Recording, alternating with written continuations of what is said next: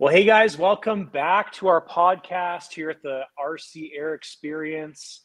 This is podcast, I think number five, I believe. Episode- Not that it really matters, five. but I think episode five. Um, five. we have some cool things planned for you. So I'm Jonathan from the lighter side of RC. We've got Anthony here from FPV FPV Builds, and we have Chris Gleason, right? Did I pronounce Yep, that, that- correct? Awesome. That's right. Just like Jackie. Perfect. Sounds good. And Chris is from Cavu Customs. Did I get that right? Yes.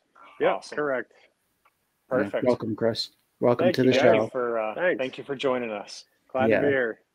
Yeah, I'm sure we caught you off guard with the. Well, I, I'm pretty um forward and outgoing, so I'm just like, this guy looks cool. Let's get him on the show. So I, I sent you a message, and you don't know me from a hole in the wall, so thank you for coming on. I appreciate that.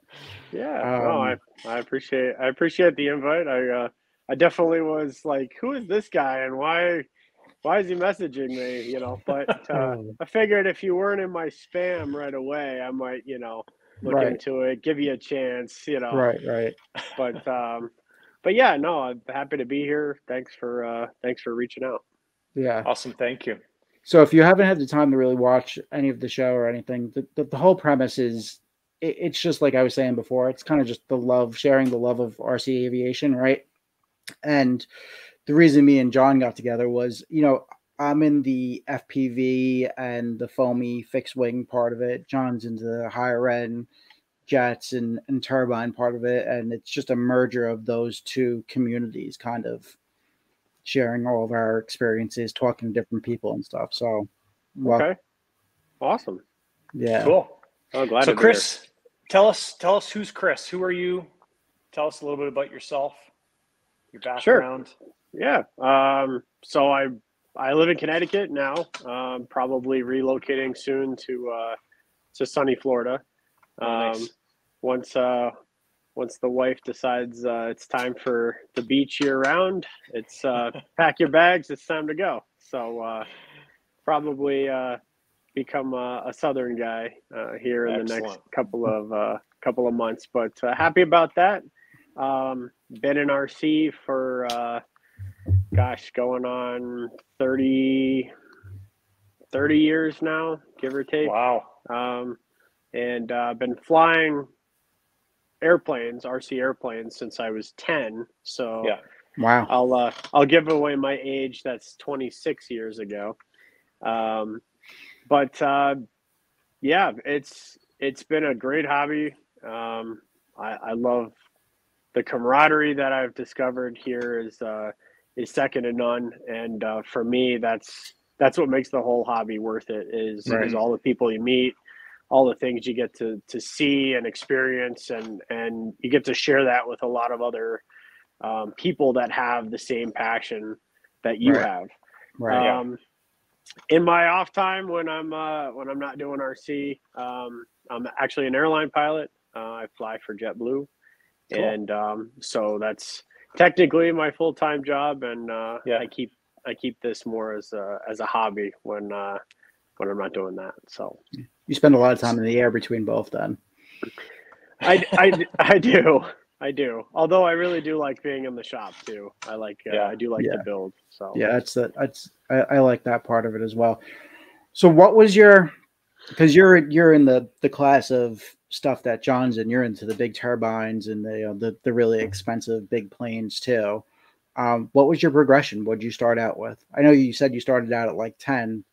Um, Yeah, yeah. So I, I I don't really have any pilots in my family, in my immediate family, anyways. Um, so aviation wasn't really a thing for them. Um, but I used to go and watch airplanes uh, when I was a kid, and um, I was really fascinated by them. And I decided very early on, uh, probably four or five years old, that you know I was I was going to aim to be a pilot, you know, at some point. And so everything from then on became how can I get to airplanes? You know, how can I? And I was five, so too young to do anything with the with the full scale stuff. So it seemed like the next option was, hey, let's go ahead and make it, uh, you know, the RC side. And I didn't know anything about it, so it's from like uh, stuff you see in magazines and Yeah. uh, some of the hardware stores that were in my town used to have those really cheap one channel electric single stick ones. You know, they don't fly very well and all. Right. So um, my first one was actually um, it's by a company called Megatech. I don't even know if they're still around. Um, Never it even was- heard of it. it was an electric Cessna with rubber bands holding the wings on and a brush motor with a geared propeller. Um, I mean, really kind of rudimentary stuff, but um, Yeah. That's how I kind of started, and um, and I slowly started moving up through through gas stuff and bigger electric stuff, and then um, this is coming up on year number ten into uh, into turbines. So um, it's been a it's been an awesome journey, and uh, seeing the progression of the hobby since uh, Yeah. since the beginning has been, I mean, well more than I could ever have imagined where it Yeah. would go and how fast it would get there. So Yeah. it's the uh, technology is crazy. The yeah, it, is just it's an exciting yeah. time to be. Uh, What was your, uh.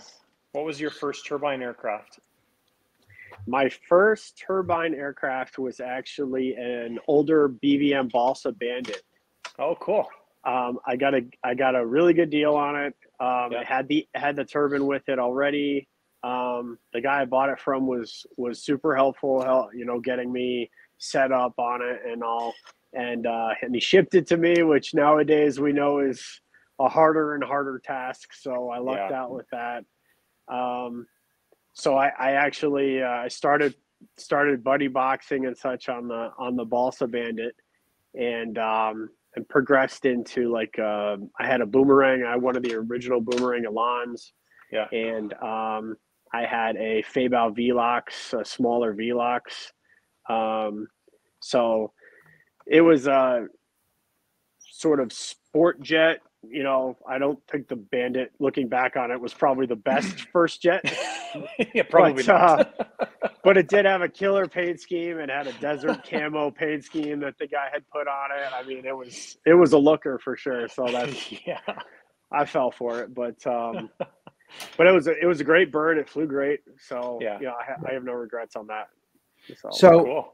you're in the Northeast like me. I I mean, you have a little bit. Connecticut's got a little bit more space and some more rural areas than Long Island does. Do you have struggles flying the turbine in Connecticut? Like, is there a airfield that you guys can fly those at? not in Connecticut. Um, I Right. actually have not. I, I know there is a field. I believe it's over in Ellington, Connecticut, um, that would allow the turbine if you could if you could get it in and out of there. But um, it seems to be in a, a pretty confined space where the Mhm. bigger stuff has a- has a hard time getting in and out.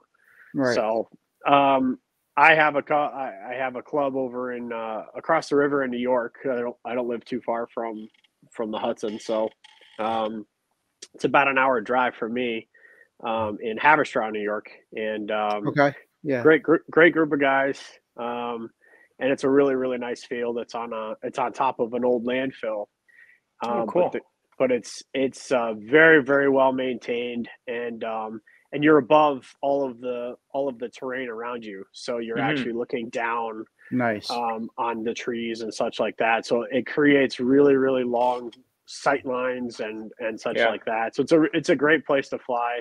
Um, I've flown. I, I'm sure Anthony, you probably you probably know the guys uh, over at Black Dirt um, in Goshen, New York. Yep. Um, I've done some flying over there as well. Um, so Connecticut, they uh, they don't like the noise. yeah. Um, yeah. y- You, you could put a you could put a you know a hundred or a one twenty twin out there and make a racket, but uh, a jet they just uh, they they hear it and it's a, it's a no. So Some of those gas motors, I mean, I guess they could be louder than a turbine, right? I mean, I haven't, I don't have too many hands-on experience with turbines, but I've heard some of those gas planes, and they're like, they're, really Ge- loud. generally they're much louder. Yeah. right, right. So Yeah. that doesn't make a lot of sense. yeah, it's it's really only loud on takeoff. Once Yeah. it's Right. in the air and and obviously when you're landing, you're pretty close to idle. So Yeah. there's there's not a lot of noise. You know, the the gassers are always they're always Yeah. loud. so you know, but uh, I follow the rules. I go where I have to, you know. Yeah. Just What's try the, to try to um, keep it fun. What's the, you want to shout out your club? What's the name of the club that you fly with? Uh, so it's the uh, so HVRCC. So it's uh, uh, the Hudson Valley uh, RC Club. Okay. Um, yeah, in West Haverstraw, New York, and um, their president Bruce Leach. Um, he's a great guy. He uh, he's really the guy that uh, uh, he was given the field by the town, and and the town said, "Look, show us what you can do." nice. and uh, and he does he does a great job maintaining the field. Um, he's a really good guy, yeah. and um, and he's done a really great job augmenting that field into. Um, uh, I think he's, I think it's year number sixteen of doing their air show out there for the town wow. um, coming up. So um, he's been doing it a long time. He does a great job. He's a great guy. He's always been very, very uh, generous and and uh, gracious with me, uh, Yeah. flying flying the turbines and stuff over there. So um, I appreciate it. I I keep going back uh, because of that. So well, it's, that uh, that you don't really have anywhere else to do it by your house. So that's that's true. that's true.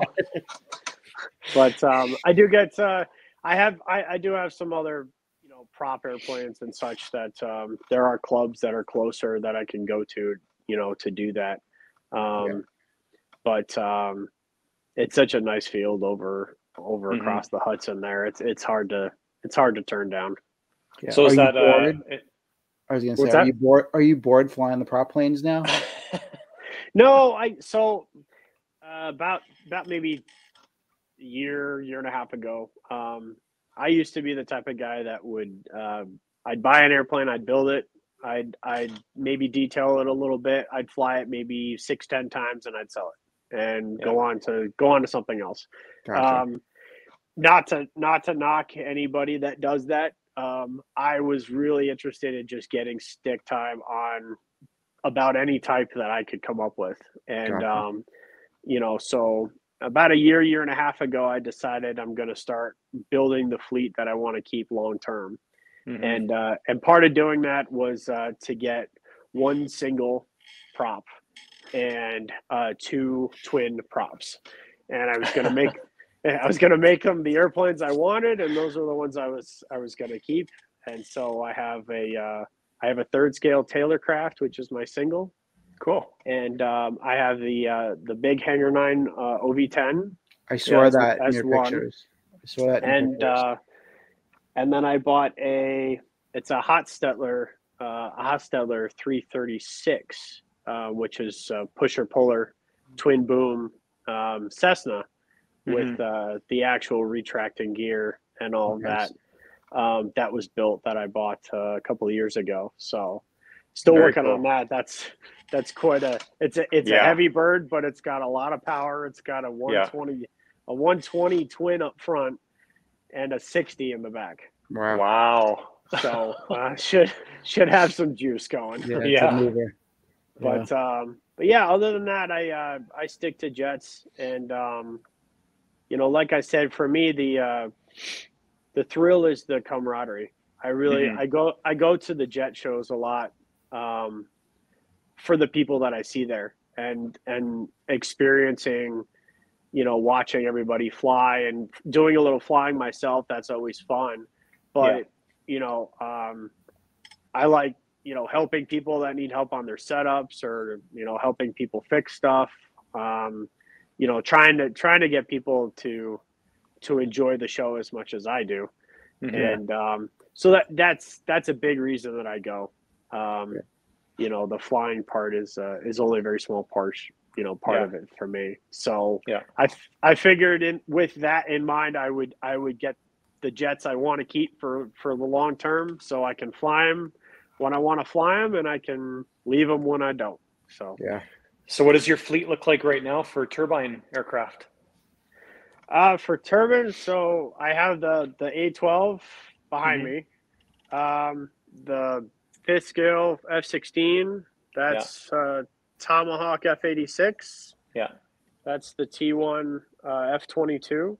Nice. Um, I think if I move this, there's a the smaller Skymaster F14 is on the table there. Yeah. Um, and then over on the other side, um, actually building a uh, a Carf B2. Oh, cool. How's that been to put together? It's uh, it's interesting for sure. Yeah. Um, it seems like every time I I make some progress, I end up running into something where I'm like, "What? What am I doing here? What?" you know, somebody tells me something about the last step Yeah. I did, and I'm like, "Could have could have used that information like Yeah. three weeks ago. That would have been good." Yeah. So, um, it's it's a relatively simplistic kit to put together, Yeah. but be- because of what it is, it's very temperamental. If Yeah. um, your geometries are wrong, um, Yeah. you know your symmetry's wrong, stuff like Mhm. that. So, I've really taken my time making sure the gear doors are straight, making Yeah. sure the gear is straight, making sure that each of the drag rudders are open the exact Yeah. same you know amount um, because i figure with this kind of airplane if you're going to lose it it's going to be on the first flight Yeah. probably w- within the first 10 seconds Yeah. Yeah. if you get if you can get it in the sky and figure it out Yeah. from there you're probably okay 'Cause Yeah, it is exactly. a wing after all I Yeah. do a Um, bunch of wings and uh and I, I help people with wings because um the FPV wings are, are pretty popular and the biggest thing and, and it's probably stands true for your wing too is going to be CG right like Yeah. CG on the wings are hard to nail Yeah. and if you don't get them right they just they don't fly well it, Yeah. it, it's like you know the old adage of tail heavy flies once and nose heavy flies like crap. Well, a wing, if it's nose or tail heavy, it's not really going to fly at all. Like Right. it's, right it's crazy. Yeah, and and I've been working on you know part of it is I I do want to I, I do want to detail it. I want to Yeah. I want to do some scale details to it, and I've gone back and forth, you know, in the basement night after night, going well, you know, maybe I should fly it and then detail it, and then well, if you fly it and detail it, then when you fly it after you detail it, it's going to be completely different because Yeah. may you know so you know i i, I think i've kind of settled where i'm, I'm just going to detail it and um and i'm going to Doesn't fly it and you know just I- i'm not in a rush i'd Right. rather do i'd rather do it right and when it's done even if it takes a couple of years you know have it have it be correct and have it look you know Mhm. great that's Mhm. i'm okay waiting Yeah, i'm not in a rush to do that so Yeah. I, I'm not. I'm not too sure why guys. Some guys are. They want to get the airplane, then they want to get in the air in like, you know, two days, and it's like, Yeah. okay, but you know, make sure you're doing things Yeah. correctly for for doing that. So So the detail stuff that you're talking about that that ties into to Cavu Customs, correct? That's kind of what your the focus is of what you. It looks like what you do with uh, with that hobby, that business side of things. yeah, so I, initially opened up Cavu for the purpose of of customizing Yeah. uh, different different airplanes. Yeah. Um, When I did it years ago, I, I wasn't honestly sure where it was going to go, what I was Yeah. going to do. Um, most of the things that I've done since then, I hadn't really thought as being a possibility when I started it.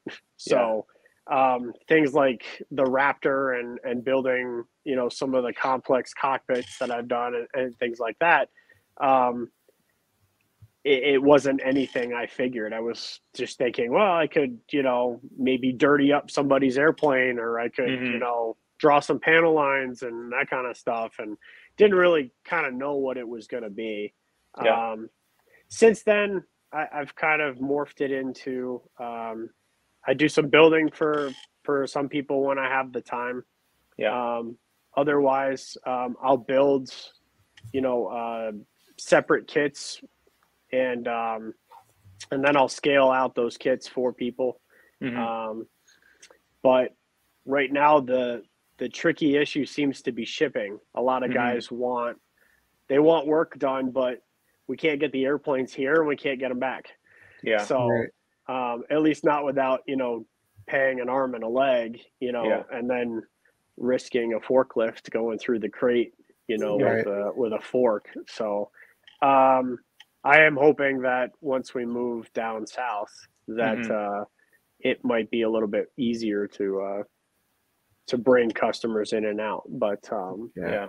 yeah, it, it's honestly right now a lot of R and D. I do a lot of R and D as to um, what can and can't be done, um, what is you know easy to do, what is hard to do. Um, if there's something, some people send me ideas Yeah. um, of things. You know, like hey, it would be really cool if you had you know X, Y, and Z on this airplane you know, and they'll know I have the airplane. So, you know, Yeah. oh yeah, that would be cool. Let me go see if I can figure it out, you know, and, you know, and then, you know, once I do, I, I might go back to them and say, Hey, you know, this is how I was, fi- you know, figured out how to do it, you know, and I'll give them, uh, this is how you do it. And they, Mhm. they go and try it themselves or, Hey, you know, this is a terrible idea. We probably shouldn't do it for these reasons type of thing. Yeah. Yeah. Um, So yeah, it's it's it's been a lot of fun. I can tell you. Yeah. Very cool. so I want to show. I'm going to try this. I'm going to see if this works. But so the detail, like kind of the stuff that you do with the detail and stuff like that, that's kind of what really caught my attention and and Mhm. made me want to reach out to you because it is special what you do, right? So I'm going to try and show the audience real quick what we're talking about because I I pulled some of your pictures off of Facebook. Oh boy, Yeah. what was what was I wearing? So let me see here if I can get this up though. Just give me a second. Yeah, okay. So now I should be able to do that and I should be able to share that. All right. So I'm guessing yeah. this is um some That's of the the stuff sa- that you some Yeah, of the stuff the that you saber. do, right? Yeah. Right. 86. yeah, Yep. And this is um air brakes inside the air brakes. yep. That's inside the speed brake compartment. Yep. Um, so there's a really good guy uh, over in Germany. His name is uh, Stefan. Um, I I haven't figured out how to pronounce his last name yet, but the best I've got is is Radow. Um, but it may be like Rado or something like that. But um, he runs a 3D printing business um, called Scale Print, and um, I have a I I'm sure you guys know Sean McHale. Um, Yeah. of, uh, Strictly Scale. Um, I've I've been working with Sean for years, and he's an awesome guy. He's uh, he's helped me out on on a number of occasions, Mhm. and um, I uh, I spoke to Sean about um, you know what his plans were for for the future, and he wants you know he wanted to go and uh, and try the uh, custom painting that he's doing, which is Yeah. if you if you haven't had a chance, it's fantastic. It's I mean, turning out awesome. It's impressive is- stuff. Yeah, he is very very talented, and I had Yeah. I had no idea that he knew how to do all of that kind of stuff. So I mean, I'm I'm super happy for him. Yeah. Um, but I, I talked to him and he said, well, you know, I, I can print you some stuff, you know, if it's kind of small and, and easy. And, um, but otherwise I'm going to kind of take some time off and see where this painting goes. And I said, okay, Mhm. well, you know, I, I don't want to bother you, you know, if I don't have to. Um, so I actually, I got, uh, referred by, uh, somebody else to this guy, Stefan in, in Germany. And, um, he really his bread and butter has really been helicopters um, and, and cockpit he- cockpits for different helicopters and and some scale antennae and stuff like that for helicopters. But he does have a bunch of jets now that he is 3ding uh, 3d catting parts for and um, so he had generated this speed brake kit initially and um, and he he and I were going back and forth about the size of the compartment and the depth, and and we were kind of concerned based on how it is. You can kind of see in that picture on the top, the the door is not hollow; it's not concave. It's got a panel Yeah. right there. So we were kind of concerned about stuff getting caught and that kind of thing. So he actually printed out a set for me and he sent it to me, and then um, I basically went through it and. Um, and did some R and D with it and and set it up just just as you see in that picture. and Yeah. then I I sent him you know some feedback you know backwards, and um, he made some design changes, and and he uh, and he created uh, the you could tell that the left and the right are actually different. Yeah. Um, but when he sent me the original kit, he sent me two of the left side only. So I actually had Oh, to okay. I had to take a lot of the parts from from the uh, from the right side and make the left side. Are Um, they are they asymmetrical on the real plane? No, no, they look just like that. They're actually it's different positions for the cylinders, different positions for the accumulators, um, Right. which was interesting. And um, as soon as I told him that, he within like three days he he 3D catted the the entire opposite compartment and um and so now he now he sells that on his uh on his website and um and it's uh it's pretty it's pretty close to uh to Yeah, full that's scale very so cool. it's it's yeah it's, it's awesome So this is a cockpit, right? That you did here. This is, I guess, this is the before on the left, and then Yep. the the after. You got a little actual heads up display. yep that's in that's in the saber too yep Yeah. So how long does it take to do a cockpit like that? Um, well, that one, that one, not that that wasn't too long because most of that, uh, the Saber is an old airplane, so all of the LED screens and a lot of the panel lights and stuff uh, stuff like that they didn't have, you know, Mhm. back back then. So it, it doesn't take a whole lot to do something like that. That's a lot Right. of that's a lot of paint and tracing and and that kind of thing.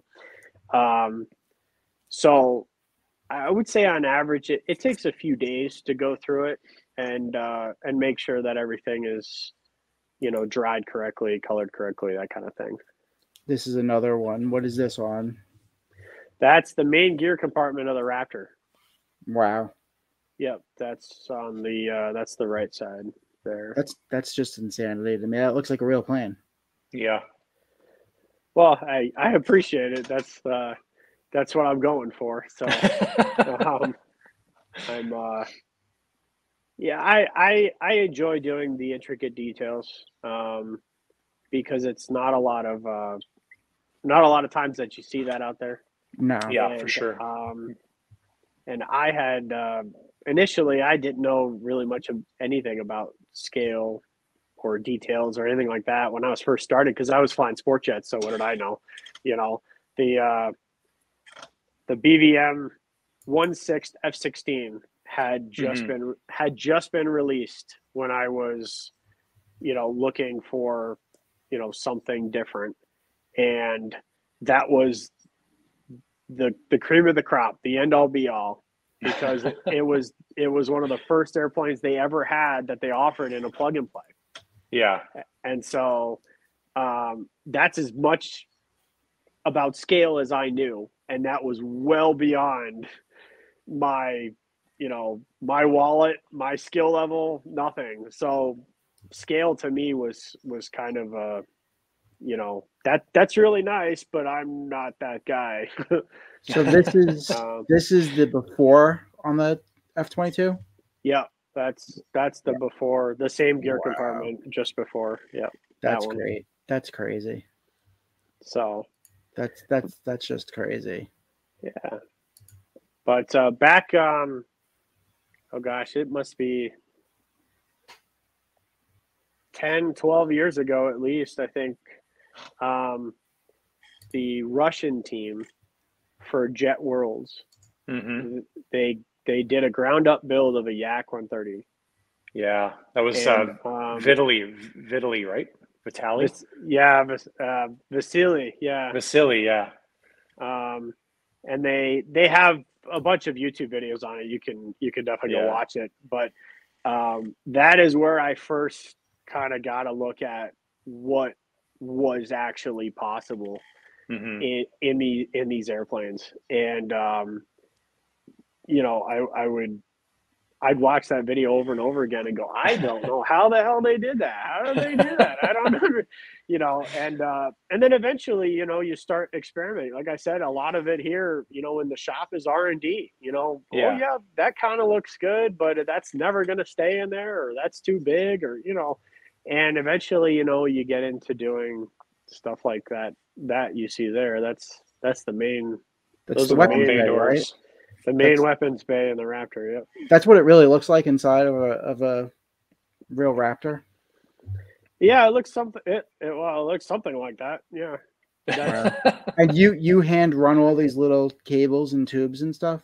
Yeah, yeah. Those are those are all hand. Those are all scratch built, all handmade. Um, Twe- tweezers and patience. uh, yeah, uh, yeah. There's definitely a lot of patience. I can tell you that. Um, but it's a lot of it is just um, you This is start, insane. You I'm start sorry. from one end. To, you start from one end and you go to the other, and that's Like this is I mean, crazy. This looks like a real little. plane. Well, they I know uh, Jenny Jenny Alderman um, and Barry Vaught. Yeah, there you go. Yep. That's uh, that's one of Jenny's pictures there. Yeah, she was Uh, on the show for episode four. Yeah. Oh, okay. Yeah, that's that's Florida Jets this year with the with the Raptor. So, um, I I had actually told Jenny before I flew. I said, "Look, I don't care if I burn it in on this flight. Okay, Get all this I want- picture. all I want is that picture, just to, just to say I did it. Like But- that's all I want." That's an And so- expensive picture. yeah, so she, totally. uh, so she was like, "All right, I'll do my best," and and that's what she got. And I was like, yeah. I hugged That's an her on awesome the flight picture. line. I was jumping up and down. I bothered her for days until I got that picture. Yeah. But, Yeah, uh, that that's an awesome picture. It really is. It is. That's a great picture. yeah, no, she she does she does awesome work. Yeah, that's the side missile bay there. Did you um did you do a lot of models when you were a kid?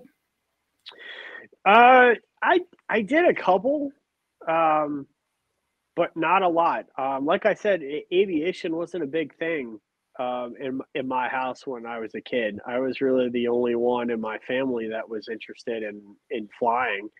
And um, eventually, I, I did get one of my uncles um, who became my mentor because he he pursued flying very very quickly. Went up through his ratings, and um, and he loved it as much as I wanted to love it. And so he and I would we would talk about airplanes all the time, and that was that was my fix, so to speak. Mhm. Um, and um, so he he was always kind of my motivator uh, to to keep going. But um, my dad, for a while, thought you know model airplanes and RC airplanes. I mean, you can do better things with your money, you know. and Right, right. that you know if you want if you want models or something like that you got to go to work and you gotta you gotta earn them and you gotta buy them so you know i i did but you know at the other things that i wanted to buy as a kid you know the i, I would only get a model here and there and maybe one for christmas but um, Yeah. For me it was cars. So I was I was really big into cars and RC cars and stuff when I was younger. And when I wasn't playing with RC cars, I was building models, you know, the Yeah. Testors models where you glue and stuff together and painting the Yeah. wheels and doing the interiors and stuff. Yeah. That's why I asked because this is almost like it, it's a separate part of the RC aviation hobby, right? This is almost like modeling as well Yeah. on top of it. yeah it's i've definitely taken to that part of it now Right. Um, when when I was a kid, no, but um, like I said, after after I watched you know Vasili's video and and and some of the other um, builds that I've seen, um, like Miguel and Marvin Alvarez, um, Mhm. they build they build a lot of really nice scale stuff down in Florida. Um, Yeah. and see, and seeing some of their work and, and seeing what is possible, you know, I really, you know, I wanted to work on that modeling portion of it, that scale portion of it, and then try to create something where, like you said, when you when you take a picture of it in the sky or even on the ground, you can't tell whether it's whether Yeah. it's the real thing or not if if the camera angle's right. Right. So that that was that was the goal initially, and and it still is. I just now I go to some ridiculous level sometimes, just you know, because because I want to. Yeah. but um, but it, it's a lot of fun. Uh, That's again, that's that's part of this hobby that I love. Is there's so many different facets of this hobby. There's so many different fields Absolutely. that that you can go in and you can know everything there is to know about one of the fields and absolutely nothing about the other. And Right. if you if you want to get into it and you want to learn a new side of the hobby, there's more than enough people that are like, yeah, come on in. The water's warm. You know, Right, grab your right. grab your wallet while you're at it. yeah, that's the most important part. Yeah. So, you know, Yeah. But um, So- So this plane, uh, I'm jealous because the A12, yeah, so I I've well yeah it's the A12 which is also what that's the brother or sister to the SR71. yeah. It's the it's the first it's the first edition, so to speak, of the SR. Um, this was the first one that they built um, before the SRs came. So I've been wanting one for a while, obviously at a completely different scale. And uh, for my size scale, there's only really two available. Uh, Banana Hobby or LX Models makes one, um, and it didn't have great reviews. It's an older model now. Um, and then E-flite just came out with one. Um, it's a small twin 40 millimeter. Yep. And it just I I have it. I had to rip all the E-flite stuff out of it because I don't fly E-flite, so I put my own stuff in it, my own um, ESCs and all that stuff in it, and it just doesn't have enough power. So it, Yeah. like I, I had a really hard time just getting it to fly. But this is like my favorite plane in the world. It's just such a awesome plane, and and just the history of this plane from like when you know us as a country put this plane together, I mean, this was really, really high tech stuff. You know, Oh, it's yeah. still it's still the flat the, the fastest plane that we've ever flown, right? Or or something like that. It holds a bunch of records. Yeah, Um, yep, it does. Yep. So yeah, is so that this, um is that kit from Ultimate Jets from Ollie? yeah, that's uh, oh, that's what I thought. That's an ultimate. Um, initially, it was uh, Danny Diaz had this one. okay, Um, cool. and um, I kept bugging him about, you know, hey, so it's pretty big, and you know, you you really don't, you know, you really don't want to have to store that in your shop and stuff, right? You know, so you know, I I poked him enough times where, uh, yeah. you know, eventually he uh, he reached out and said, hey, you know, if if you're really serious about it, you know, Yeah. let's let's let's talk and um Cool. like you anthony this is this is one on the list this is Right. Right. if i you know i- if i could ever have had one you know it, it- i would have done anything i had to um to get one and um so i was really lucky but this uh, it's funny you talk about the history so one of my favorite stories of the sr and and the entire project was um back when they were developing it, you know, Kelly Johnson and the Skunk Works, they had discovered that at high rates of speed, the ordinary aviation metals that they would use to build airplanes can't hold up to that kind of heat. Mhm. And so they had determined early on that that the only thing that they could work with that would sustain was titanium. Yep. And unfortunately, the at the time, the leading country that produces titanium was was the USSR. Yep. Mhm. And what the so the NSA and the CIA actually set up a bunch of shell corporations and they Yep. bought all the titanium to build the SR, Wow. Yeah. which which then was used to spy on the USSR. So Yeah. It, it's a wild story, right? Because they they had to buy it in quantities that wasn't going to like arouse suspicion. Oh yeah. So like they had to buy like small quantities from each company, and it was like and a crazy number of companies. and multi yeah lots and lots of companies and um and so one tidbit about this one is the pipe the pipes for both the turbines are titanium Mm, Oh, cool. So a little bit a little bit of the history you know in in that one so i i kind of i kind of like that nostalgic touch you know with Very one. nice. so So how many flights are on that uh, on that bird?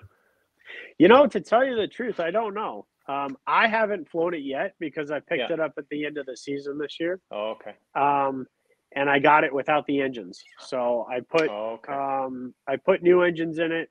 Um, they're a little bit bigger than the ones that came out. Yeah. Um, so ideally, um, it'll be this you know this spring. You know, Yeah. hopefully. Um, I've got a couple of fields in mind um, to uh, to call up and say, hey, you know, would you mind if I if I, if I bring my you know 13 foot A12 out to Yeah. play? I have know, all kinds of questions. So you're in your basement, right? That's where your shop is. yeah, yeah. It's in the it's in the basement. So that doesn't Sounds- look like It sounds so awful when I say it It's all right. I- I'm in the basement too. Yes, no, I still live in the basement. I'm, I'm in the basement too, so it's okay. Um, we're basement dwellers. It's all right. Um, how do you? It doesn't look like it comes apart. Like, does the nose come off? It does. yeah. Because that thing's huge. So how do you get it up and Mm-hmm. out of your basement? How do you transport it? I mean, that's a big plane. So it I have a I have a 14 foot trailer. So luck, lucky me, I have it's long enough, just barely. Got an extra foot. Um, so I can uh, I can transport it in one piece. Um, and so it actually I have double doors out out the back of my basement. So Okay. Uh, with with the uh, the horizontal stabs off, um, it it fits out the door kind of you know yeah, sideways. dia- diagonally, you know, if you will. hmm Um, but it is the only plane that I actually can't move by myself. So I've I've discovered that, and uh, so my but my wife is uh, she she's used to um, taking the nose, as she says. Yeah. Now I'll take the nose. Okay. So funny. So, You're gonna have to come on the Wives of RC Part Two. We'll- Oh, we'll yeah. have we'll Well, have to she'll- get her on there.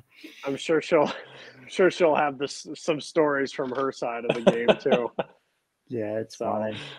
I don't have doors leading outside, so I have to go up my stairs, and I have Oh, to take okay. wings off and hold things sideways. And I have a I have a Bronco too. Uh, I have the Motion RC Bronco, which is not for a phone plane. It's not a small plane. It's it's got Yeah. a pretty good presence to it.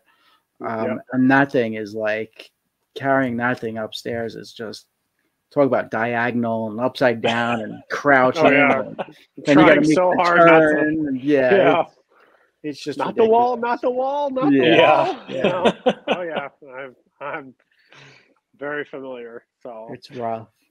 Yeah. So what's uh what's another plane that you don't have that's on your list? uh, I have always wanted a, an F one seventeen.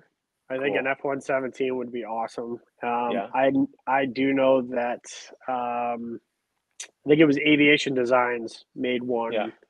a while back. Uh, they don't make it anymore, but Yeah. Um, but if they ever do, or I ever I ever find somebody that does, Yeah. I'm I'm definitely uh, I'm definitely in the game for that. Nice. Um, but uh, yeah, I think uh, I, I I wouldn't mind a really a really nice big hawk. yeah. Um, I, I've always been more partial to the to the 100s, so the Yeah. the longer the longer Okay. nose. Um, and um, so I, I wouldn't mind one of those, but you know I'm not in a huge rush for that Mhm. one. Um, And when you say when you say large, are you talking like the the Carf Skymaster large, like one three point six scale, or are you talking like one two point five scale? No, I, I don't think. See, th- because you get to a point where big is too big, Yes. right. and and you know, for for me, I've tried to stagnate the fleet in such a way where there are airplanes that I will take every day. I can take Yeah. to the field whenever I want to go flying. Yeah. There are there are airplanes where I will take them sometimes to go flying, but I'll always take them to the show.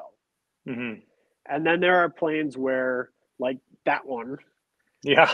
where you bring it out when the weather's good and you've got a lot of space and Yeah. Right. you know uh, maybe to an event that you're going to be at for for multiple days Mhm. and you know and you and you'll get some flying time on that but it's not an everyday flyer you know Yeah. Right.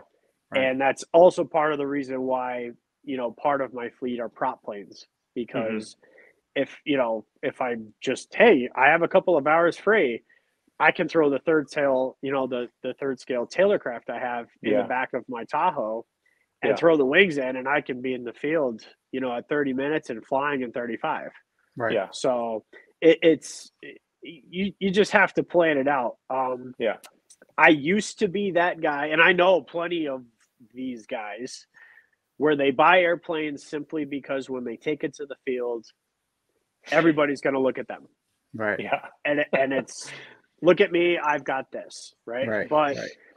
they may not fly it when they're at Mhm. the field that day. They may not fly it at all Which is Yeah. a you know and so I, I didn't i'm not i'm not that guy i Yeah.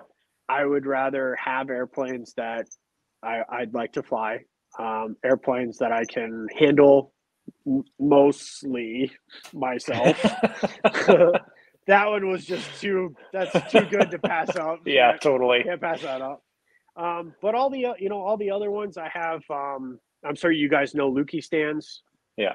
I mean, Lukey's awesome. No, I don't think there's anybody in this hobby, at least not on the turbine side, that doesn't know who Lukey is. Yeah, of course.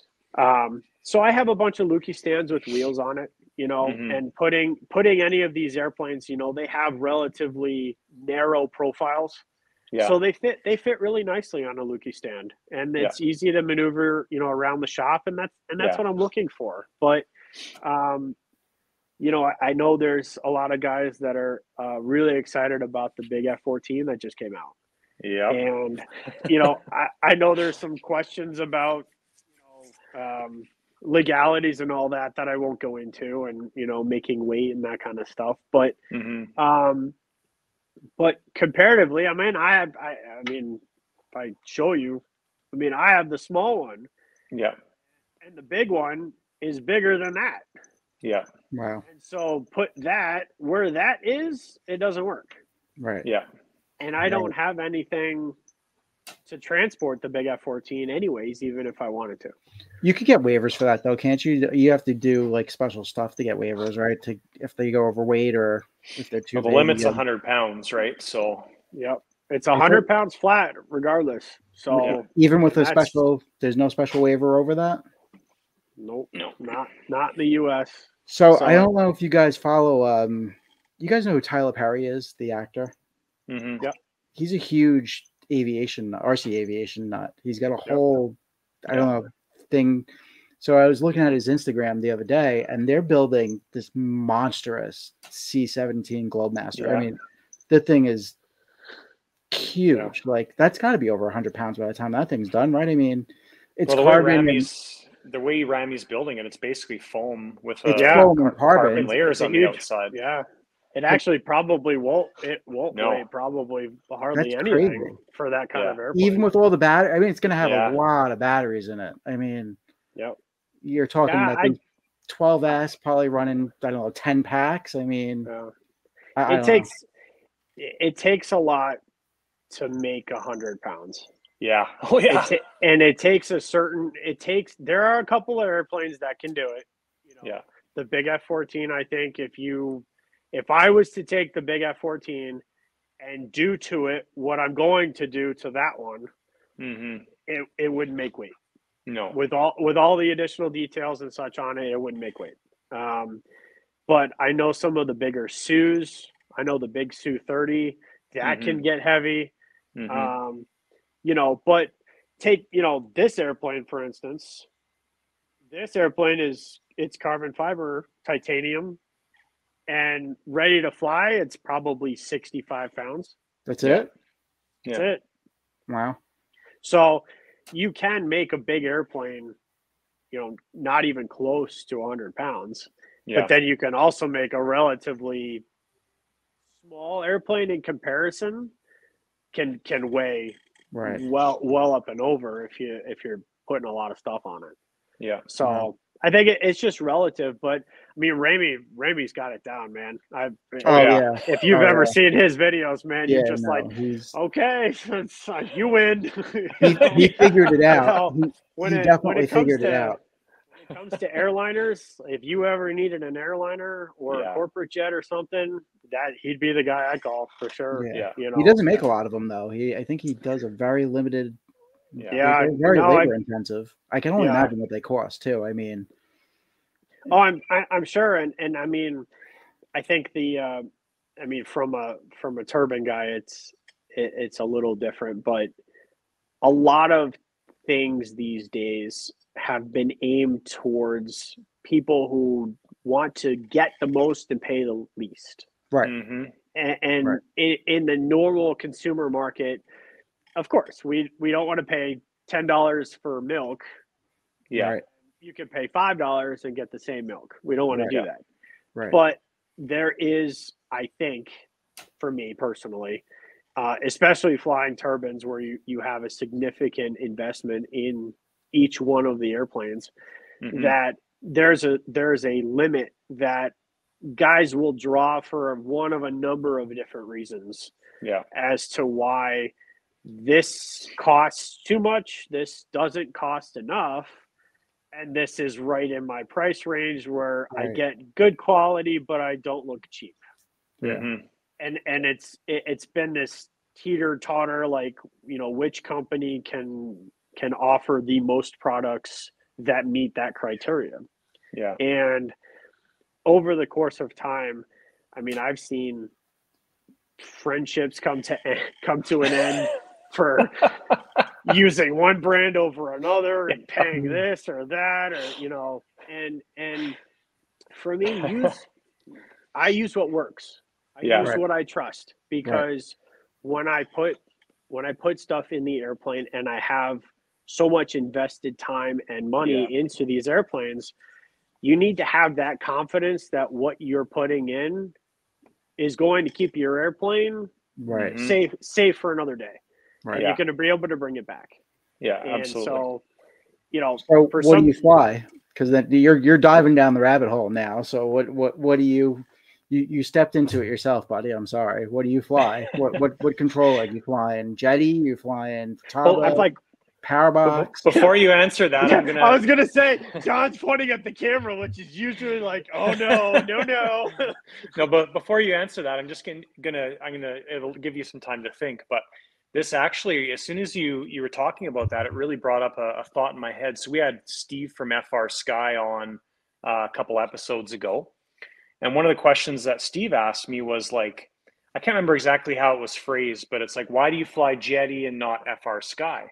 Or why why do why do the jet guys generally fly like Powerbox or Jeti or uh, I mean even even Spektrum whatever um, and not FrSky. And it's like, well, and I, I, I think my answer to him was kind of what you said. I basically said, you know, it's as a jet guy myself, I don't mind spending two thousand, three thousand dollars $3,000 on a radio system because it's not to me, it's not a huge drop in the bucket, right? I Right. would, I, would- I would almost rather have a 2,000 or three thousand dollar radio system versus a a one thousand dollar radio system. Compared to the overall price of what you're flying and Yeah. the fact that you get to use it on multiple planes, paying that much for what you guys are doing on a radio system isn't a Yeah. lot in the grand scheme of things. Exactly. But there and there are there's a lot of guys that I mean a lot of my friends that have switched over different radio systems and they're flying FrSky and they love it, right? And that's that's great. But So again, that's the one thing choice.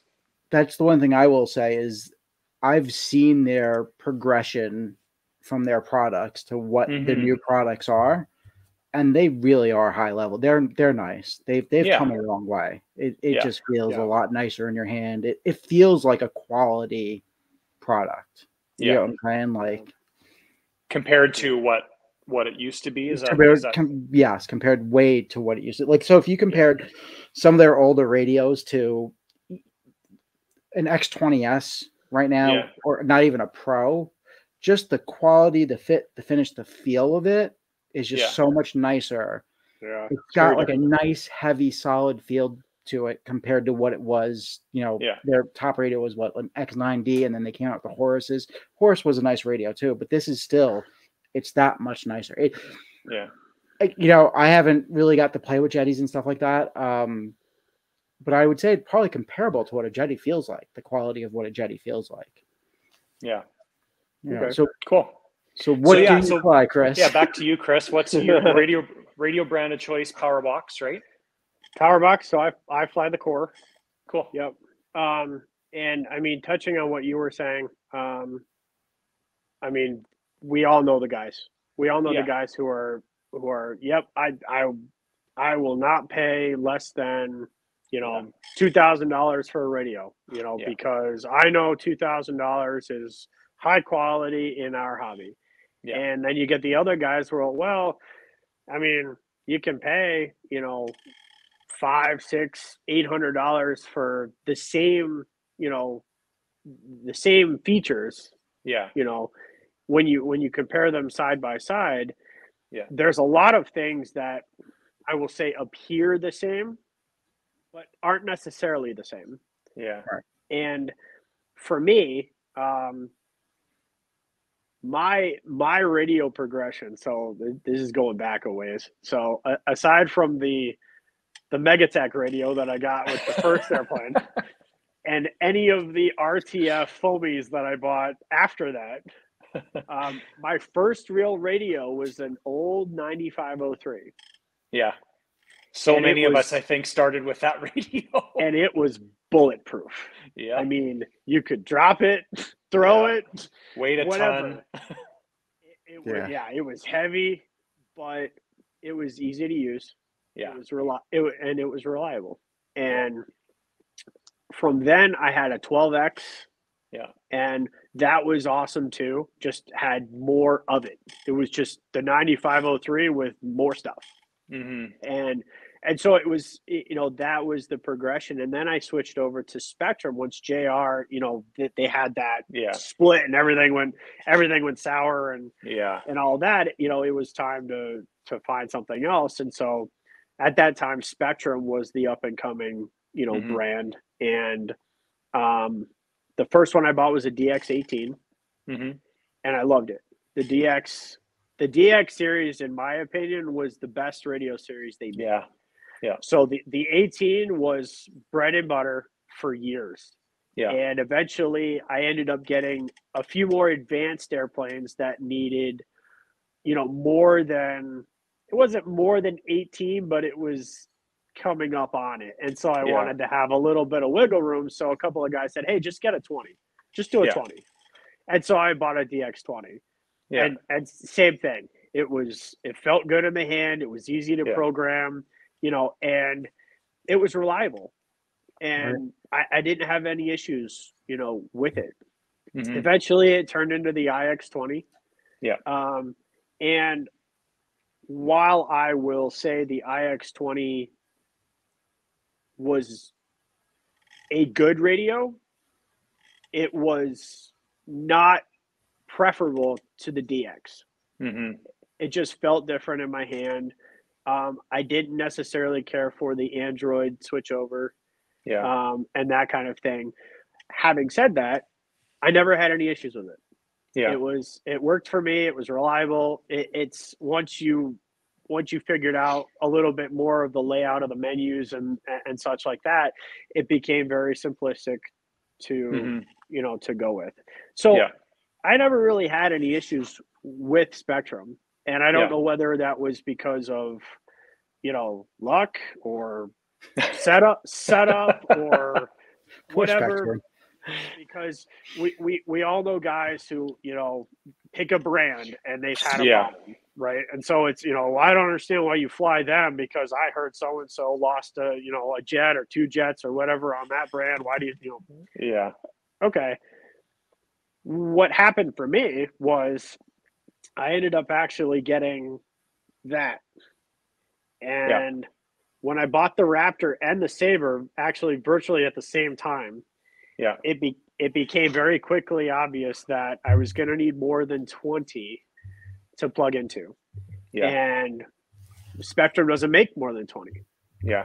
and so um, I had talked to a bunch of a bunch of guys in the hobby, a bunch of bunch of friends of mine, and they all said, "Well, yeah, you know, Power Box has got more than twenty. Why don't you Yeah. go with them?" I said, "Okay, well, you know, I don't know anything about Power Box, so I don't know how to program it, and I don't, I have no idea what I'm doing, you know."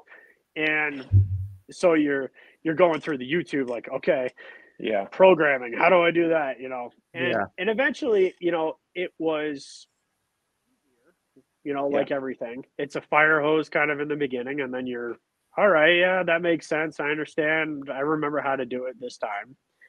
Um, but then trying to trying to tie it together with Spektrum, Yeah.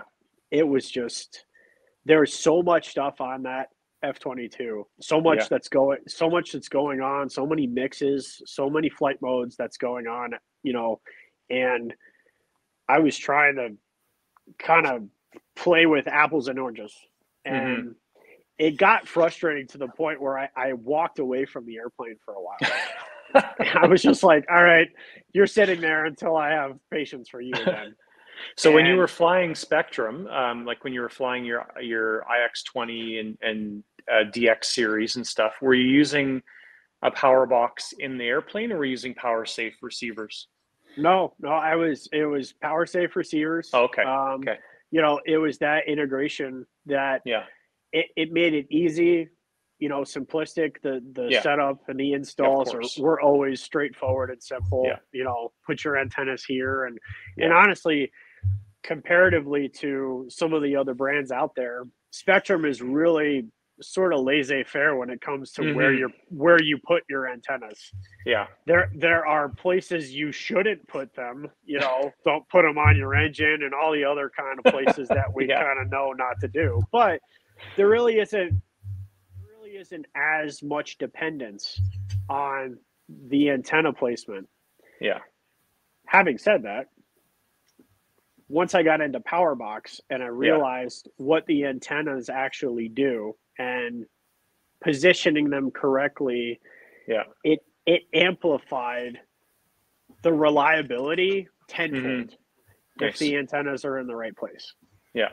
and so for me i don't have anything against Spektrum i never had an issue for me it was i have to go to something else Right. that is easier and more intuitive to program with and the more channels. box. Yeah. has more channels has more Yeah. inputs and so uh, a, a good buddy of mine um, he had switched over to core and he said Mhm. you, you you looking for a new radio and i was like no yes and no maybe i don't know and he said all right well let me show you you know how this works and you know he Yeah. kind of gave me a little tutorial on how to use the core Yeah. and um and how to set it up and all of that Yeah. because comparatively to Spektrum it, it is apples and oranges it's, yes, of course. it's not the same system it's not the same logic it's not the same setup Mhm. um, a hundred, a hundred percent in Spektrum does not mean a hundred percent in PowerBox. so, get it. You know, you have to kind of retrain your brain to Yeah. a, Right. a, a new system.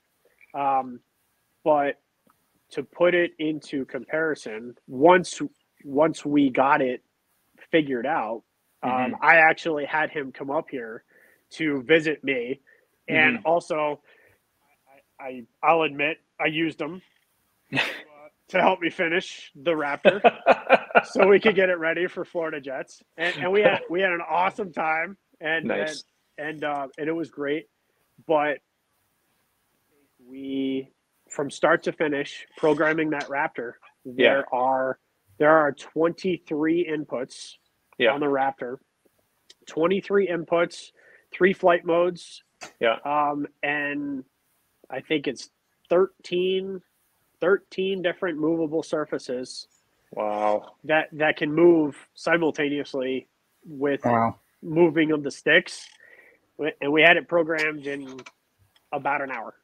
Yeah. Cool. So it was for me looking for a, a new radio. It wasn't a necessity, Yeah. you know. It, with you know, oh yeah, I've, I've lost airplanes. I got to switch, or Yeah. they're behind the times. I got to switch. Yeah. You know, for for me, it was I don't have a choice. like I got to yeah. I gotta find something, you know. And um, when it comes to buying equipment for these airplanes, I don't measure it so much on a cost basis, hmm but it's more of a utility basis. Right. So, am I getting what I pay for? hmm You know, from a from a utilities purpose. So, do I have enough channels? Do I have enough functions? Do I have the telemetry I want? Stuff like that. Okay. Ergonomics goes along with that. You know, does it feel good in your hand? But also stuff like customer service. hmm right. Is there customer service that's in the United States or not? Yeah. Is if I have questions on how to do this or how to do that, or I need service or something like Yeah. that. Is that relative? Is it available quickly? Is it somebody I know? You know, something like that. And so I Yeah. kind of look at it from a broad, a broad spectrum. Yeah. And I, I, I knew Danny Diaz. I knew Adam Strong. Um, Yeah. I know I know Power Boxes in Jacksonville. I know that they Yeah. are always available for questions and all that. And so all of that kind of added into all right, well, it's really easy to program PowerBox stuff with a core.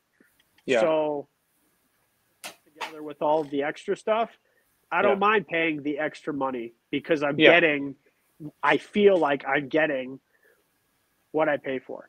And Yeah. then that continues on for for the the life of the radio. So Mhm. I can always call them. And I do. I bother them to death. Probably they probably should be on my Christmas list to send gifts to because I bother them so much, you know. But Do you they're, um they're always willing and and and that's for me that's a huge thing when it comes to Yeah. choosing equipment. But I don't I use Jeti, use FrSky, Yeah, use course, Spektrum, what whatever Right. works for you because Right. in the end in the end we're all we're all out there for the same reason. We're all out there to Yep. fly. We're all out there to drive. We're all out there to, you know, put a put a boat on the water. We're all out there to enjoy the hobby and have fun. yeah. Right. And if exactly. if you're if you feel like you're not using the equipment that's going to get you to that point, then it's probably not the right equipment. Yeah. And you need and you need to find something that works for you. Yeah. So is is Powerbox and Core, you know, have they been fantastic? Absolutely. I'd recommend it to anybody who's interested in in that that radio, that technology. They can absolutely reach out to me or you know any of them. But Mhm. if if it's out of your price range or if it's you know if the programming seems a little bit too you know too much to learn at one time yeah. that's great you're you're you're not a bad person or anything like Yeah. that i will help you however i can help you Yeah. um, even if it's not you know with the, with the same brands that i fly yeah, because exactly.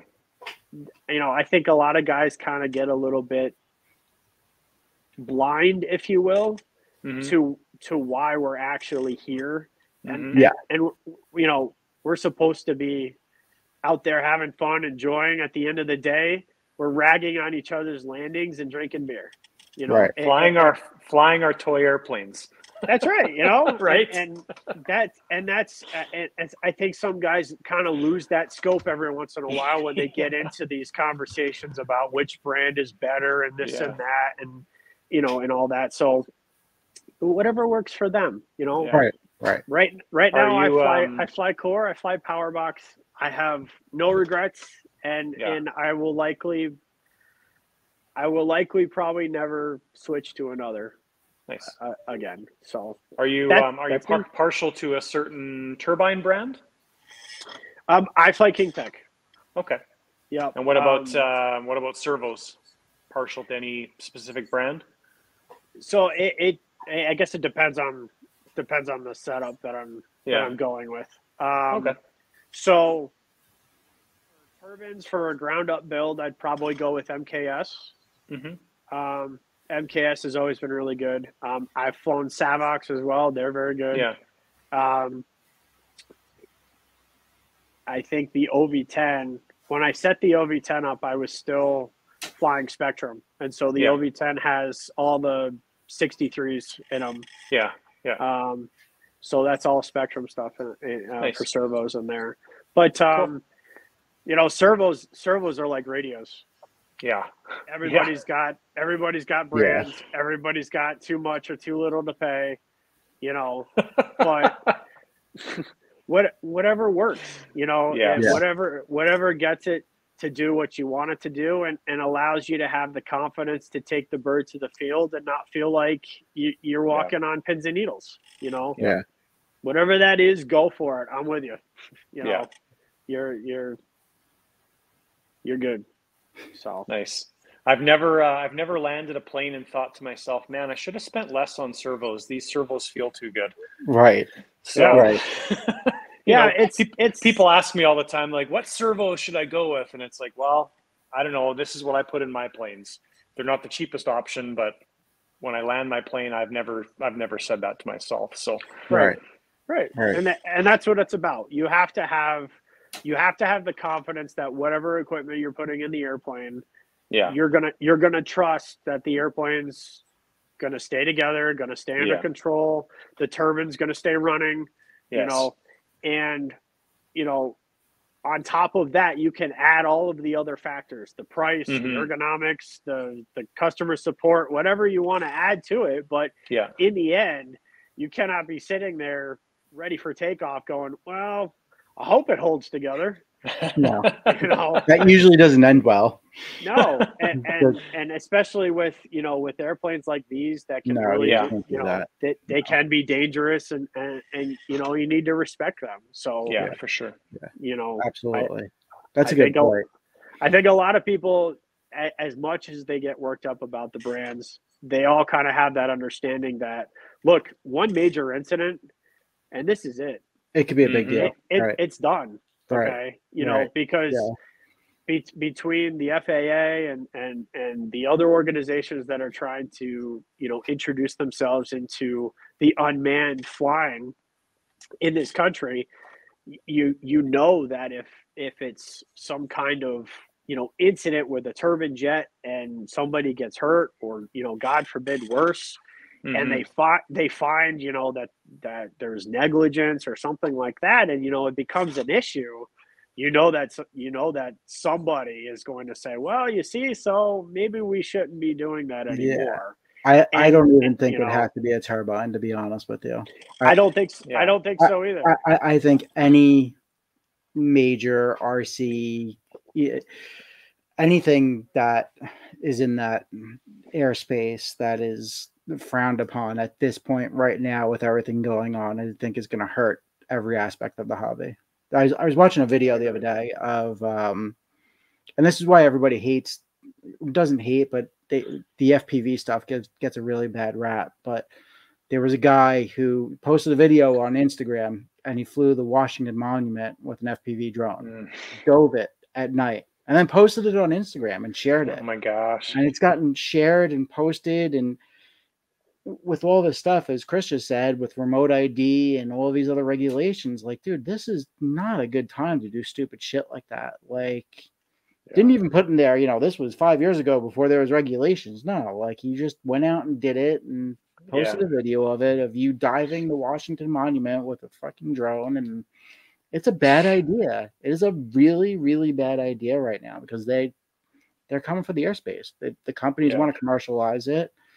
The FAA is like, great, companies commercialize it. It's less yahoos running around with jets and drones, right? So, so Chris, quick question because we're we're gonna probably start wrapping up soon. We've been on for almost an hour now, a little bit over an hour, but sure sure as an as a pilot, right? And you get to, I guess, go to all these different locations as a as a real pilot. Do you get to bring any of your stuff with you? Do you get like, you get what I'm saying? Like, Space in the cargo hold. Yeah, right, that's right. like, That's- like that's what I'm asking. Like, do you get like extra luggage space that you can throw a plane in with you and you know, I, you got a I wish- layover in Miami, you got a jet with you, you know. I, I wish I wish I, I wish I did.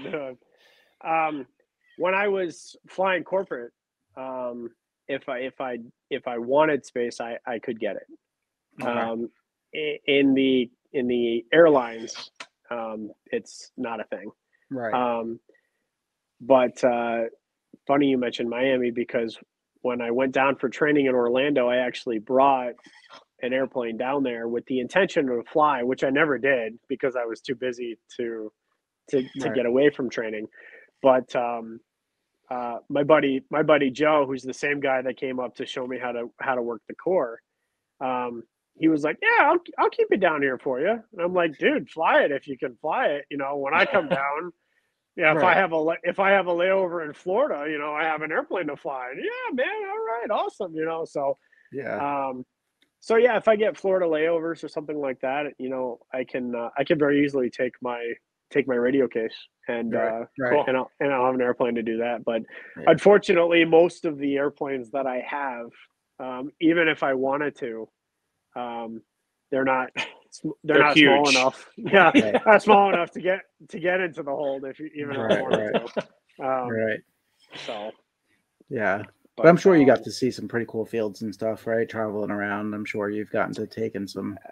yeah, Yeah. there's there's a lot of there's a lot of really nice fields, and and honestly, there's a lot of fields that nobody knows about.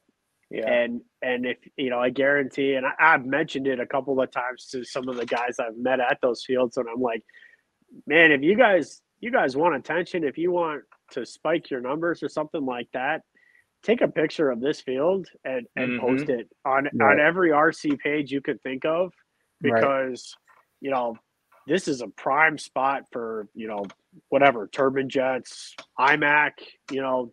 Um, I I know there was one that had a, a dedicated control line field, and I mean the control line field itself was nicer than some of the flying fields Yeah. I've been at, Yeah. and and I was like, hey, nobody knows this is here, you know. Yeah. But if you ever wanted to do an event, you know, just post a picture. You know, this is an Yeah. amazing field, you know, and I, I think I've seen it maybe once where they're like, "Here's our field," you know, and I'm not really honestly sure whatever came of it, but, um, but it, it's awesome to see as many places as I've been and as many clubs as I've been to. Everybody at all the clubs have all been there for the same reason. Hmm and they've all been welcoming to me and to and to some of the other people that I that I've seen that are new members or trainees or you know trying to get their turbine waivers or whatnot.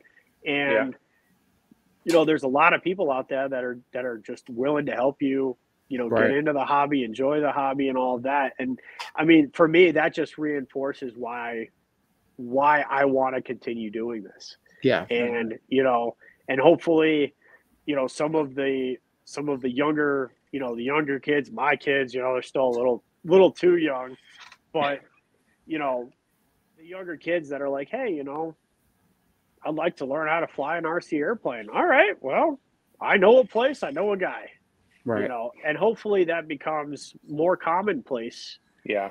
you know the more places that you go and, that, and you know and i think that would be that'd be an awesome leap for our hobby you know Mhm. especially like you said anthony now there's a lot of criticism a lot of public opinion you know Right. some some of it is from you know people who aren't in the hobby and people who haven't seen some of the things Right. we've seen and haven't done some of the things we've done and so they don't understand that there there's more to it than seeing the drone dive you know the washington monument or But you're I've you're seen the uh, perfect you're the perfect example, right? Like we, so we had this conversation with Jenny um, Alderman the other day, and you know my concern with all the regulation and stuff is it might hinder. So you're somebody who went from, and and a lot of people do that, right? A lot of people at an early age get infatuated with whatever it is, rockets. They want to go and work for NASA, or they start playing with airplanes and they Yeah. want to be pilots, and it's like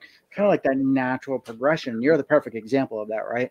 hmm My concern with all the regulation and stuff is we don't want to take that away, right? Because then we we could hurt that, right? We could hurt those kids who build an airplane at their school and all of a sudden because of all the regulation can't just go into their school field with a drone club and fly them, right? Because Right. that could that could hurt that. That could hurt right real aviation in the future, right? Yeah, absolutely gotta- and You need a stepping have- stone. and and and there is a um, there are a couple of guys up in district one uh, up here in the northeast um, that got together and had an idea of starting an outreach team.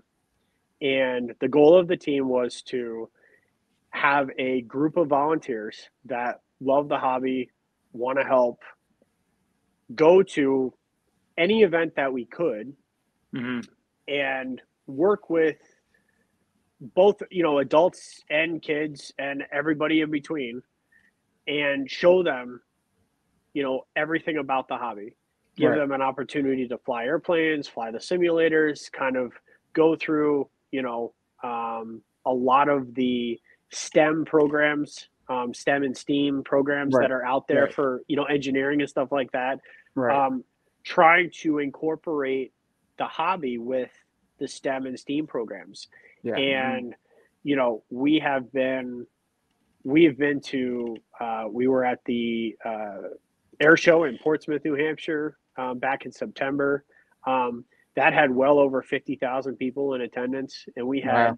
you know, thousands and thousands of people that were, you know, coming up to the booth, asking questions, you know, being engaged. They were learning about our hobby and that, you know, it's, it's not the evil dark side that everybody seems to portray these days It's not. you know and you know in all of those events we've gotten a lot of feedback that just what you say it's helping the younger generations to to spurn on that interest in Mhm. engineering and and flight and Right. you know any of the the STEM and STEAM topics that you're giving them an opportunity to see it in action, to feel it in action, and kind of invigorate their their interest to continue pursuing that. And you know, in so doing, we've we've met contacts from the FAA, from various aviation companies, um, Pratt and Whitney,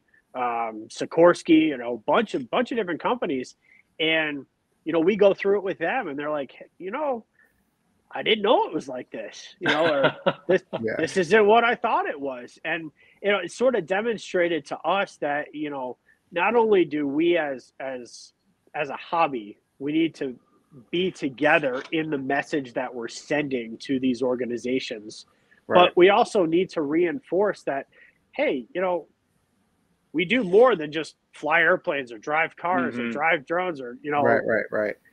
you know we help to you know keep that younger generation interested in the programs in the hobby in you know basically expanding you know their knowledge and their abilities you know and and, and then augmenting that into maybe what could be you know a, a long fulfilling career in any one of the fields you know that it Yeah. could be aviation it could be engineering it could be any you know anything related to you know Right. uh radio you know the radios the tech the you know who knows Yeah. rocket rocketry they go yeah you could go work for nasa and figure out how to get us living on mars i mean yeah.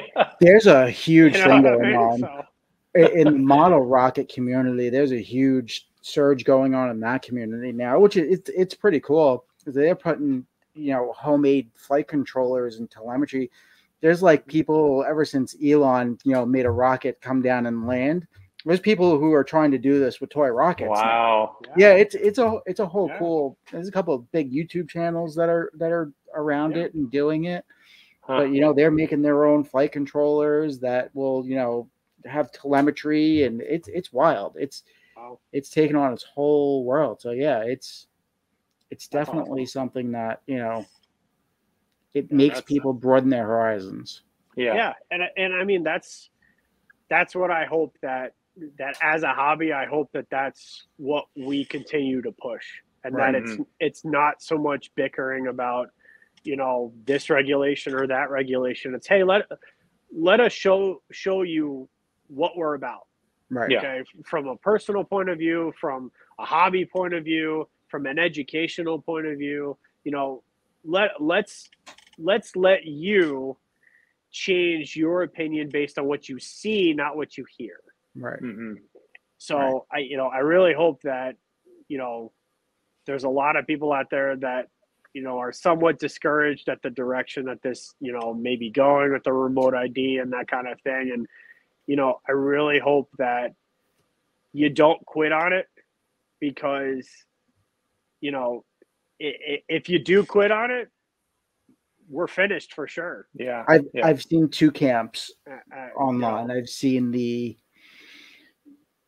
maybe three camps i would say i've seen more of two camps i've seen the F it, I'm not going to comply camp. And Mhm. then I've seen the, you know I'm not dealing with this. I'm just getting out. And I've been seeing a lot of people in groups sell a lot of their stuff off, huge collections of planes and stuff. So it's like, Yeah. there isn't a lot of people right down the middle. And, and part of that is because uh, there isn't a lot of great solutions for remote ID right now that like from the manufacturers. Like even Spektrum has one that they're coming out with, but it's it's not out yet. And that's actually why they pushed back the date. They pushed back the date because nobody no none of the They don't have they don't have an RID, right? No, nobody had one good working solution that they could ship when whatever a hundred thousand of them out to customers, right? Mm-hmm. And if you don't own a DJI drone that has it built into it, then you know you got Right. modify And then, you know, plans. And a lot of guys don't. They either don't live near or or their field is not a FRIA, and Right. and so they're not. You know, they don't have a choice, and Right. that's I and, and I know that can be that can be frustrating for sure. That's my um, world. Not not having the choice, but Yeah. um, I don't have any frees. I fly. uh, I'm not posting or telling anybody where I fly because then there'll be a lot of people there. But we fly at. I fly Yeah, at a school field. I fly at abandoned fields because, you know, a I get a lot of pushback from clubs because they're not a. I can't fly a line of sight anymore. That's the other part of it. I flying FPV killed me being able to fly line of sight. line of sight, yeah, It, it murdered me. It really did because yeah, like once you're in the plane, I I, I lose orientation like really fast now. yeah. Like it's, I used to be able to do it. You know, it's just it's horrendous now. So We um we just has a, had a positive thing up here in Canada with our so we, we're going through a lot of your guys' the same type of, of issues and stuff. But so as of last year, we had to do a so we have a, a an app by our version of AMA, which is MAAC. So MAAC has this agreement with RPAS Wilco. So it's basically you go on there, you set your flight plan, they email you the whole logistics of everything, and you get this 16 page document. Um, and anyway, so now the clubs only have to do one at the beginning of the season. And as long as somebody looks into it every 56 days, one member of the club needs to do it at the beginning of the year, and that's it. It Used to be one person would have to do it at the beginning of the day. So you would just, Okay. it's part of, part of our routine. So that's one small little victory for us. But yeah, yeah, making making progress for sure. yeah, I, I, I honestly think part of the issue and it so we we had um when remote ID was coming out, the FPV community actually protested at the FAA and stuff like that. I think part of the problem is the general public doesn't truly understand, and I think that there'd be more people behind it if they understood what was going on Mhm. and just my personal opinion, but I, I think a lot of this regulation isn't about the safety. I think it's more about the commercialization of the airspace. I think it's more about Amazon and Walmart and Google and all these companies being able to do package delivery and not have their drones and flight plans interfered with while doing that stuff. Right Yeah, the general public isn't like you're complaining about my FPV drone that you might see flying at a field, right? How many people are really going to want these drones? Hundreds of them flying over their heads all day long, dropping off packages. I, the thing is, I don't think people will mind that because it's doing something for them, right? I- I Our model know. aviation stuff is they don't give a, a, a hoot about. I, I don't know. I don't. I don't know if it's going to go that way. I don't. Yeah, yeah. I I. I think I think it's definitely you know like I was saying the, the goal of this this outreach team you know was to educate yeah, the, the general the general public in in kind of the way things are for Right. real not the Yeah. things that you see on YouTube or not the not the crazy things that you see on the news like you know a drone almost hit an airliner or something Yeah. like that and you know that kind of thing so I I agree there's definitely motive for commercialization um, primarily because it's dollars and cents Right. and that's the way the world works these days. Right. So when it comes to Amazon saying, "Okay, well, we'll pay you, you know, a hundred million dollars if you approve this regulation for us," yeah, okay, the win. FAA is the FAA is going, yeah, okay, Yeah. Right. right.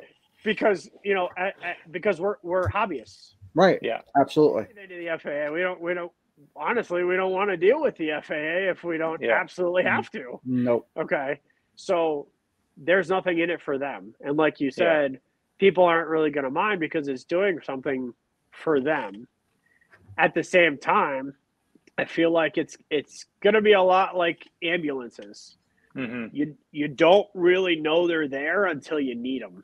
Right. hmm And so people are going to be kind of oblivious to it at first, and they're going it, it'll be a novelty, like, oh, there's one of those drones, Yeah. never seen one, you know, this kind of thing. Okay, but what happens if a drone does have a malfunction and something happens? You Yeah. know what happen? What happens if it drifts into an airplane and Yeah. and, and an airplane really does hit a drone? Okay, not only will that have repercussions for the commercialized side of things, Right. but it'll it'll ripple down to whatever is left of our hobby as well. hmm Be, because I think one of and, and you touched on it earlier, Anthony, with how the FPV guys get kind of a bad rap. oh yeah. It's because I I have over the course of time seen the correlation between drones and RC kind of meld together. Right. Yeah. And that eh, you know it, it- it's it's an RC airplane. Oh, it's a drone. Right. A- And and you say, oh, it's not a drone. And the, oh no, it's a drone. Like you use a little controller. Like I can get one of those at you know Best Buy or whatever for Christmas. It's a drone. Right. And so they and so they tie everything together, even Everything if if- now a drone. even if they're not at all together. Okay. Yeah. If I flew a 13 foot A12 over New York City, you're gonna know about it. Okay. you're gonna know. Okay. Yeah. No, I, You- I and if you you know you're flying drones in the in the Washington Monument. Nobody knows, but you know what? Everybody eats it up, right? The Right. general public, you know, you see the one the the guys that put the the Roman candles on the drones, and then they fly it up, and and, and you got these guys that are shooting Roman candles at you know at people from Yep. a drone, yep. Whether we want to or not.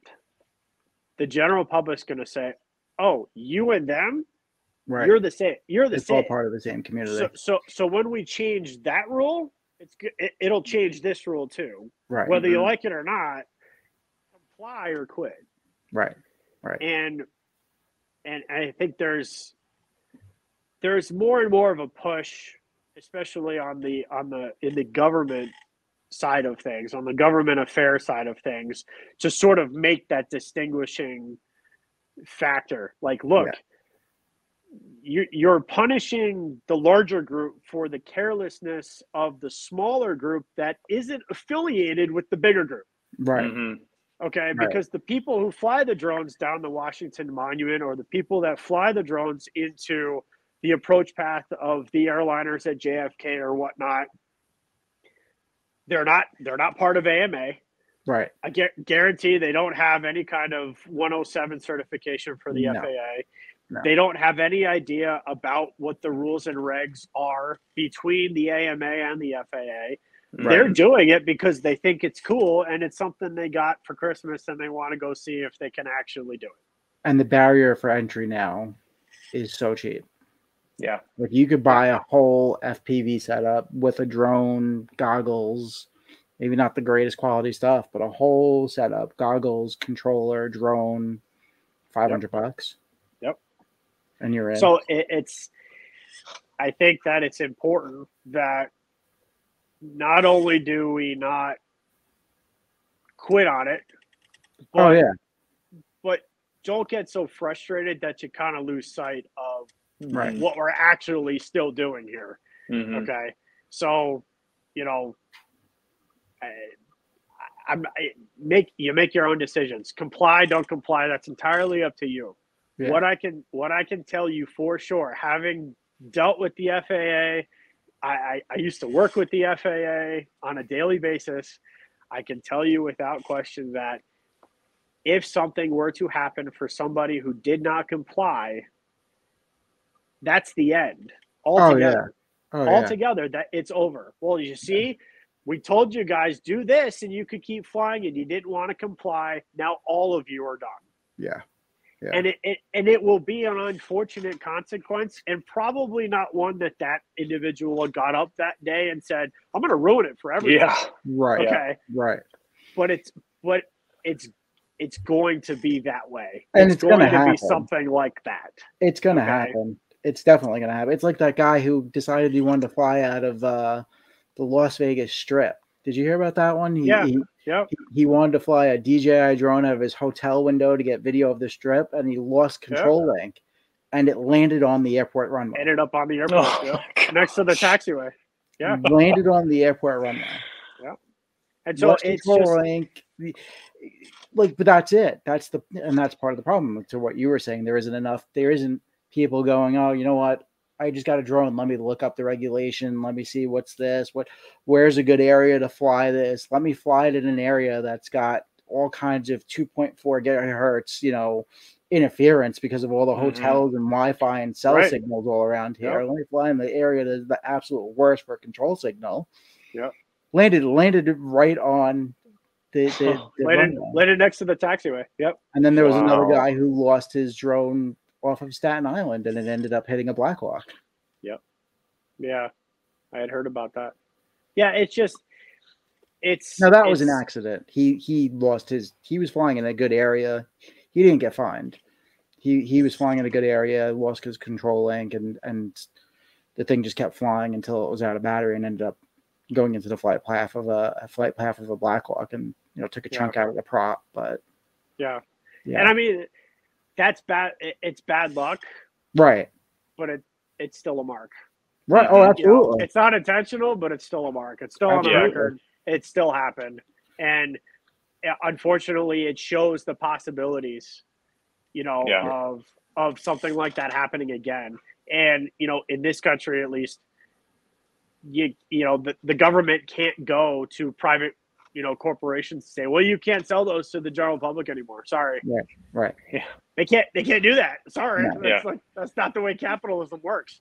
No, and the other problem No. is the other problem is like if I, I this was actually part of my comment to the FAA because I didn't I didn't feel like they the way they went about remote ID and, and look I'm complying I have a module on order I'm waiting for it still not here yet um I could make a drone literally out of brushless motors and an Arduino if I wanted to Sure. you, Yeah. you know what I'm saying? So it's like, even if you did put that into play and you were like, you can't sell this or it's got to be that and you can't sell that, people are going to figure it out. Yeah. it's not Yeah. necessarily going to and, and and again you It's not get like you stop said there's there's a pool of people that are they don't care Right. okay put all the rules you want i'm still going to fly Right. Mhm. you know and and i mean I, I think you could probably think of one of a number of different laws that are in place to prevent something from happening that still happens Oh, Because absolutely. the, Absolutely. the, the people the people who are doing it don't care whether there are laws or rules in place to prevent you from doing it Right. Yeah. so Right. will that still happen in the rc world yes if that's all there is left then there's really no hope that the hobby will ever come back once it's No. gone Yeah. um, do I hope it ever gets to that point? Absolutely not. I hope it turns into something where you know there's a mutual agreement between both sides, and that everybody does their part to uphold that agreement. Because in the end, we're all counting on one another to Right. not Mhm. mess this up. Right. And that's what it comes down to. Don't mess it up. And so, you know, that that ties back to just about every conversation we've had tonight about reliability of equipment you put in your airplanes and Oh, confidence you have to bring the airplanes and stuff back.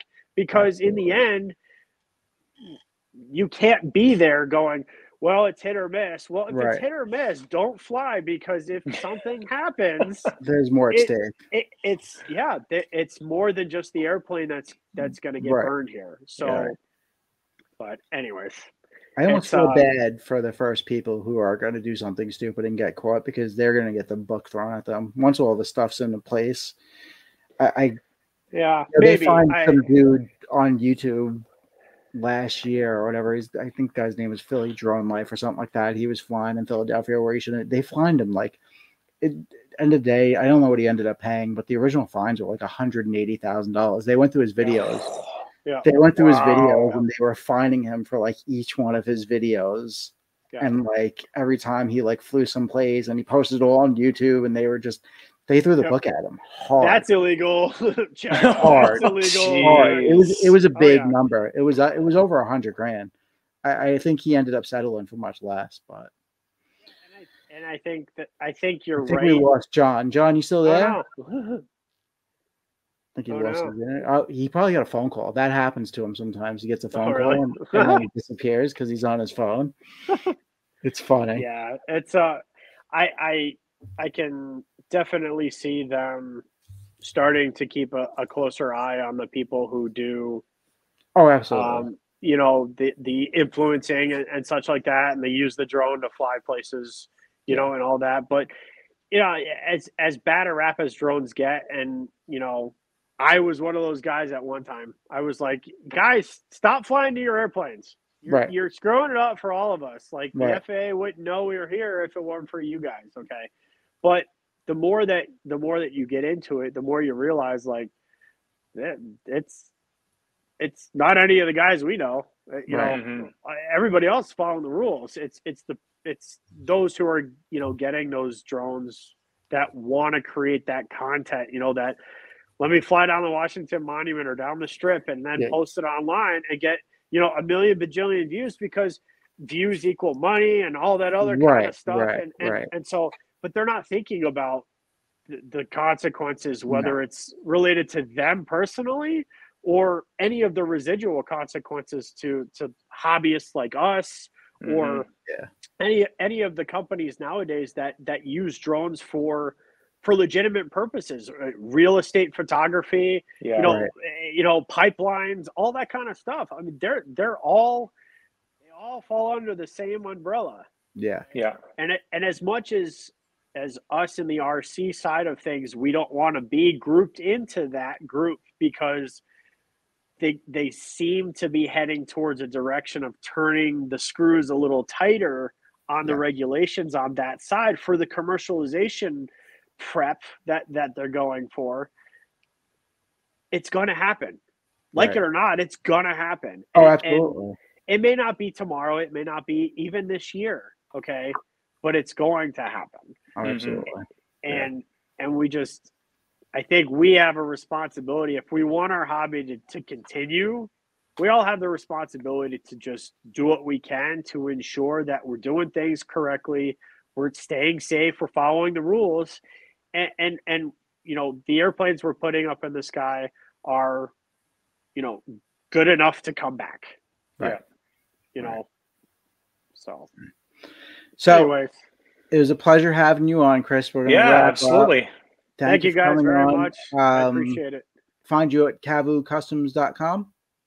that's the web page uh, yeah you you found the facebook page um yeah I, i'm on there as well um i tend to post i'll post stuff personally from Mhm. my from my personal page and then I- i'll probably make a post for cavu and you know you can go back and forth between them you know Nice. however you want to do if not hopefully you know i'll uh i'll see you at a field that i end up at one Right, of these right. days Good luck on your move. yeah. so Good luck Thank you, on your move to Florida. Thank you. Thanks, thank you very much guys Talk to you guys soon. Take All right, care. bye, everybody.